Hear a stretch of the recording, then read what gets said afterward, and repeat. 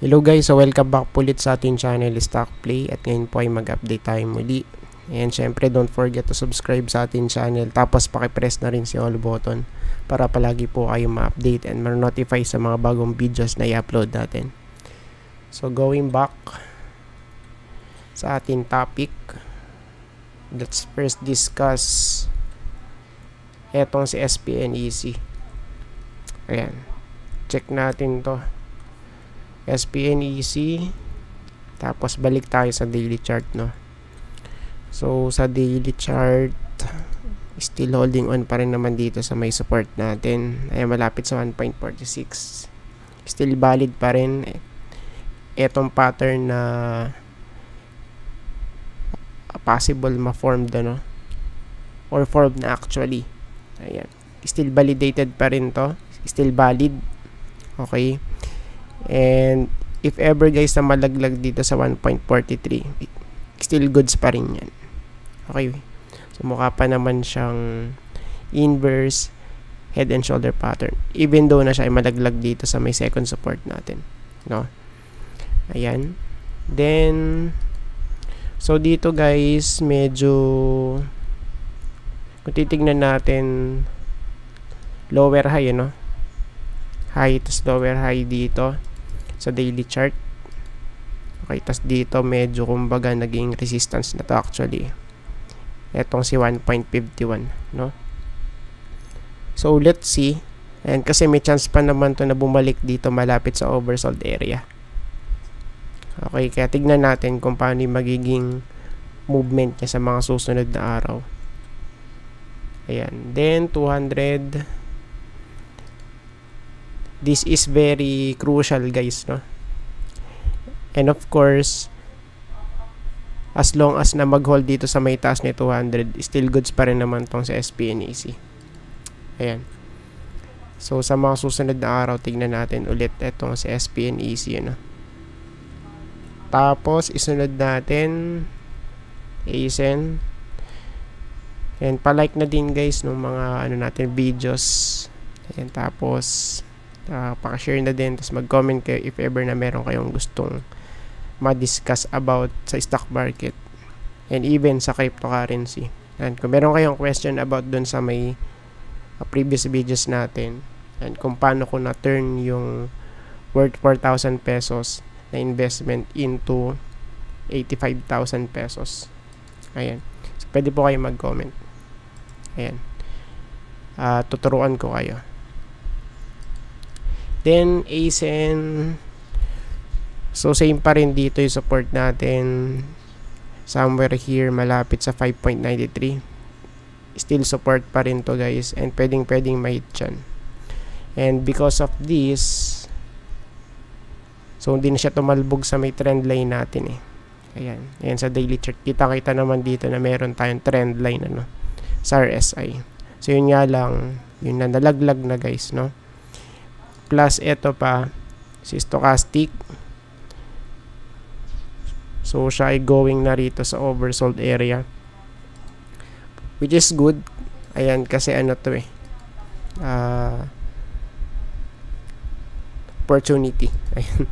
So nakalimutan ko pa yung term.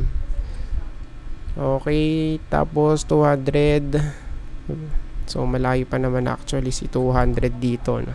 Kaya isen to. Ah, di ba So pagka pinansin nyo kanina, medyo nakabaloktot pa pababa eh. Kaya may chance pa na ano yan, kumbaga bumagsak. And kay dito naman guys, so sinabi natin before, pwedeng mahit eh. Ayan, and kung titignan natin, halos hit na po. O, di ba? 2.44. So, bakit sinabi natin dyan before na pwedeng mag-retest? Because, ayan, So, ito po kasi yung naging stronghold natin kay dito since 2022 October. Ayan. Kaya sa malamang mag-retest doon. Ayan. And that's why ayan. So, siya ay nag-retest. So, ngayon, tingnan natin kung makaka-recover ba at mag-breakout just in case na mag-breakout, ano? So, ang next stop natin, possible 2.5. Ayan. So, pwede ron 2.5 guys, no? Let's see. Then, 200 day, malayo pa kasi ito guys. So ngayon silipin muna natin sa 4 hour chart. Ayan, sa 4 hour chart, over bot na rito sa stochastic. Pero dito guys, medyo nakabaloktot. Over, so hindi pa naman over bot. Ayan, sa RSI, sa, sa, sa ano pa lang guys, sa stochastic pa lang, actually. Ayan, pero dito, titingnan natin sa 4 hour chart, meron tayong resistance dito, no? Somewhere here, malapit sa 51. So, tignan natin. Let's see, guys. And, of course, yung support. 2.36 pwede rito. 2.36, I think. Ayan. So, pwede dyan, guys, ano? Then, APL. Okay, punta tayo kay APL. For APL, let's check first.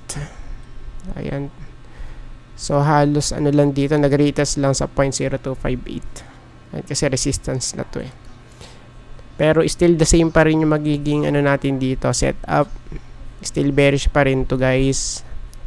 Downtrend channel. And we know that pag ganito,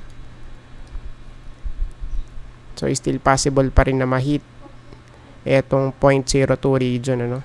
0.02 because may mga bounces tayo dyan before since March 2022 ah, diba so right now still bearish pa rin to.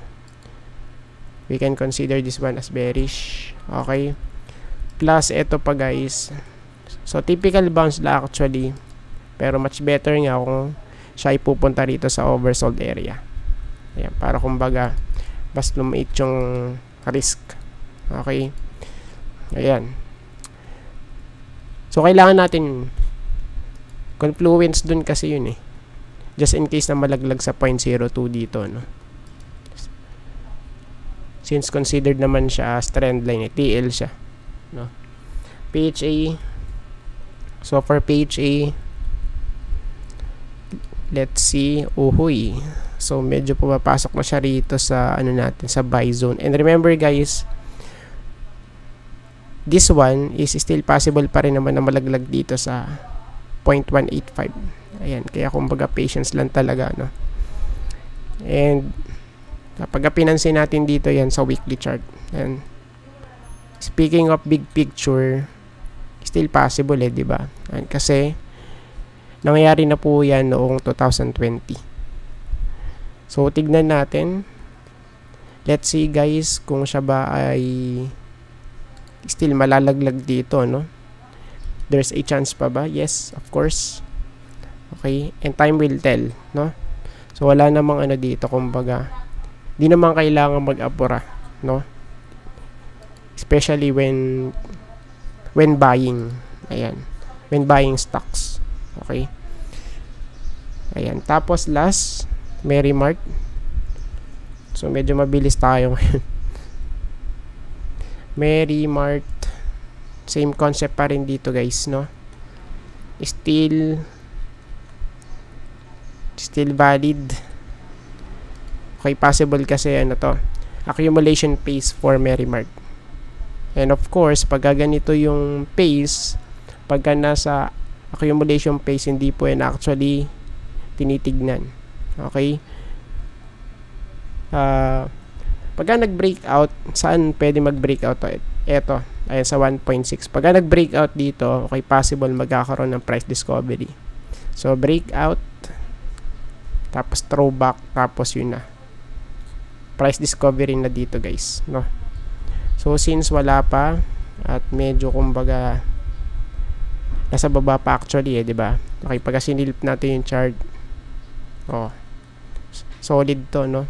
Solid accumulation for Merrimark as long as na tayo ay mag-hold dito sa ating buy zone. So si buy zone nasa 1.2 to 1.14 1.15 okay? So basta malapit dito guys still good siyan because before so medyo kumbaga lumagpas tayo dito eh so inabot siya ng as low as 1.06 ayan So pagka nag-stay ng ano dito mas matagal, of course mas bullish 'yun, no? So wag nga lang mag print out ng panibagong lower low saka at lower high. Okay? Then uh, yung 200 moving average natin dito is still goods, uh, 'di ba? Flat na siya. Pero sana lang is wag na mabuhusan pa, no? At mag-stay na dyan, guys. Ayan. And I think tapos na po tayo. Maraming salamat po sa panonood and see you po sa next video. Bye-bye.